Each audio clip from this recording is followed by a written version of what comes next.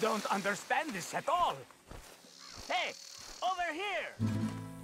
What's the problem? Problem? No, there's no problem. Quite the contrary. Well, there is a problem. For me, but not for you. All right.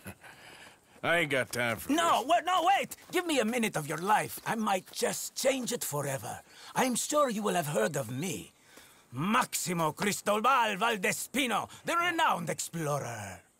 Can't say I have. There has been much written about me. I once had high tea with the Viceroy of India. I helped liberate South America. I've climbed mountains and swum across seas. I have had many women. I've spent the last three months hunting treasure on the American frontier. Beautiful country. Reminds me a lot of Almeria. But tomorrow I set sail for the island of Shikoku in the Japanese archipelago in search of the legendary Tokushima sapphire.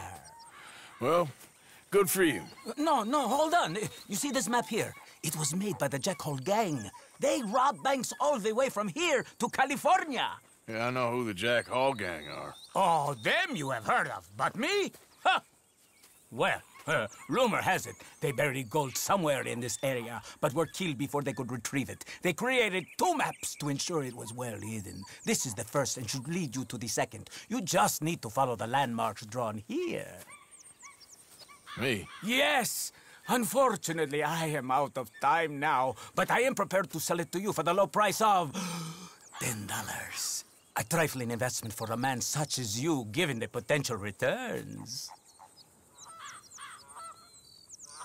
Well, I'm interested in the map, but not so interested in the haggle. Why don't you just hand it over instead?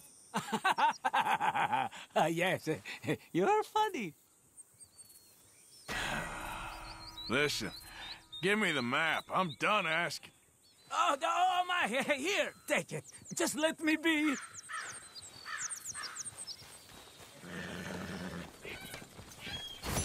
No morir por este mapa estúpido.